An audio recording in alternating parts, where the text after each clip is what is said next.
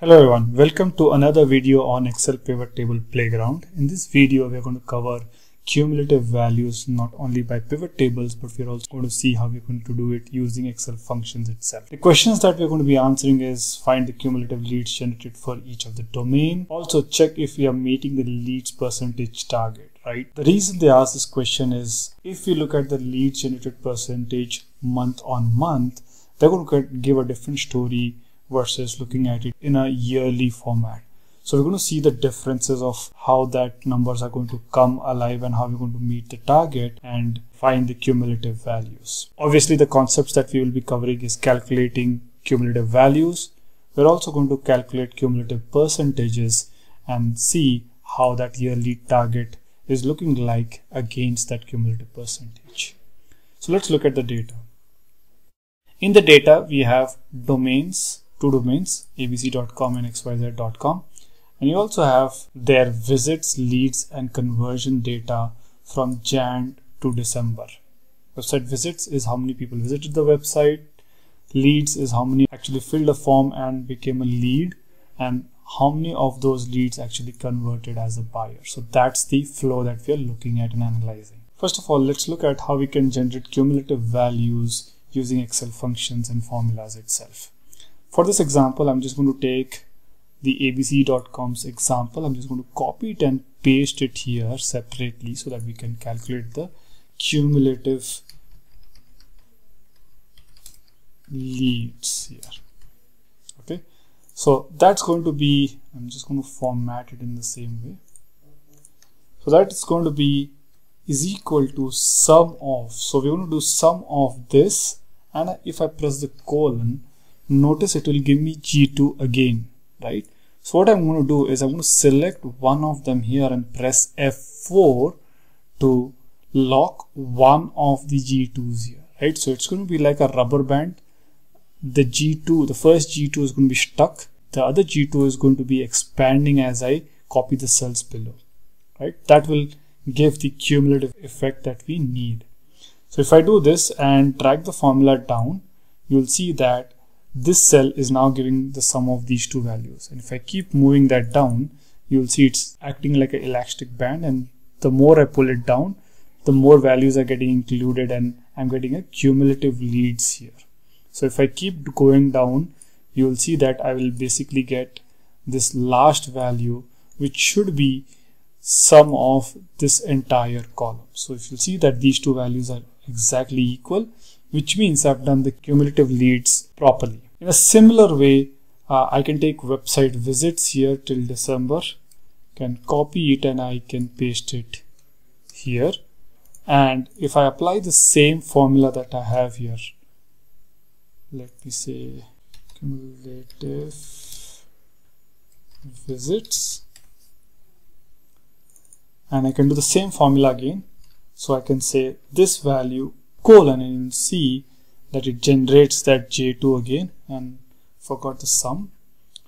So I'm going to say j2 colon j2 notice that we have two j2s I'm going to fix one of them so that I get the cumulative value. So I, I do this and I get the cumulative visits and ideally it should be the same value as what we have here.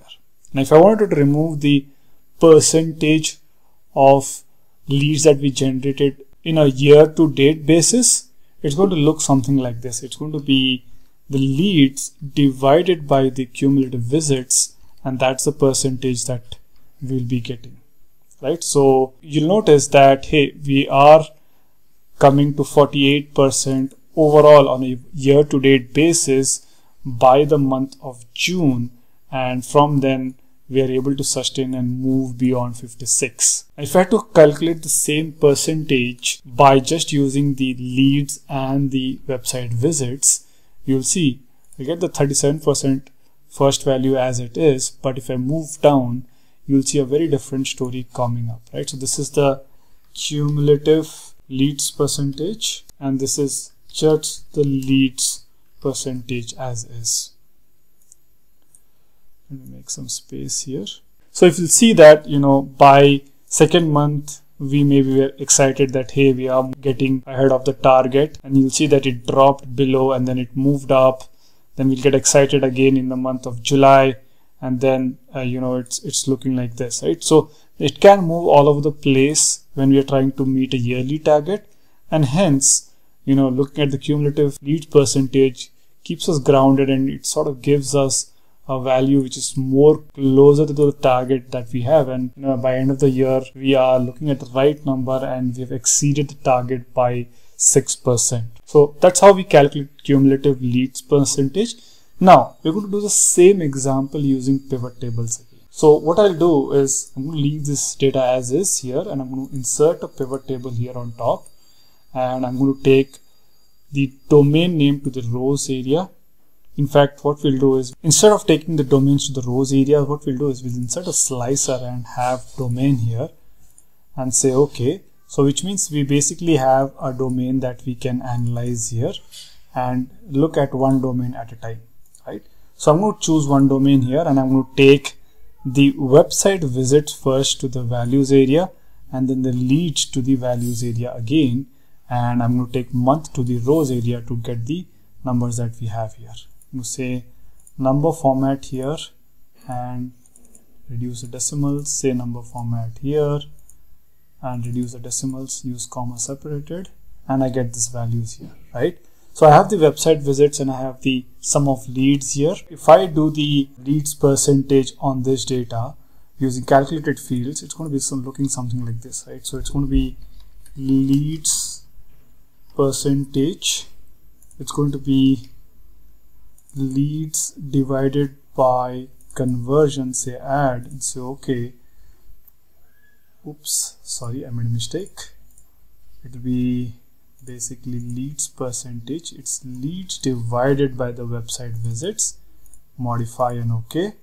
And then I basically get the percentage that I'm looking for in terms of monthly wise. And this is the one that goes up and down. Remember that we saw it's it's going up and down right? So we got we got the leads percentage but the idea here is to get the cumulative leads percentage. So to calculate the cumulative website visits and leads what we'll do is we'll add them again. So i'm going to take website visits again and i'm going to take leads again. So we have two of the same fields but this one what we're going to do is we're going to say show values as running total in and I'm going to link that to months to get the running total in here. And similarly I'm going to say this as running total in for the month and I'll be getting these values. So if I do the number format and change this I'll have this value I'll say number format and these values. Say okay and I'll be getting the same values. And notice these sums are equivalent to what we have here which is where we have done the cumulative visits and leads properly. Now, if I wanted to calculate the same percentage here, this one we'll have to do it outside the pivot table, right? So it will be cumulative leads percentage, and that's going to be is equal to the F4. If you do this right, it's it's going to select this and it's going to hard to copy down the cells. So instead of that, what we'll do is we'll say is equal to f4 divided by e4 to give it the percentage. So if I copy this down, you'll see the percentage that we have here. And this, this percentage that we generate is going to be equivalent to one that we generated here, right? So that's how you basically generate cumulative values with using pivot tables. And then if you want to create a percentage percentage on top of it and if you want to create a percentage on top of it you can basically calculate it outside the pivot table and get those percentage now if i select for xyz.com you'll see i'm able to get for both of these summaries and this is how we basically generate cumulative values using pivot tables and using sum and fixing using excel functions. Thank you for watching this video guys. If you like this video please hit the thumbs up button and please don't forget to subscribe to my channel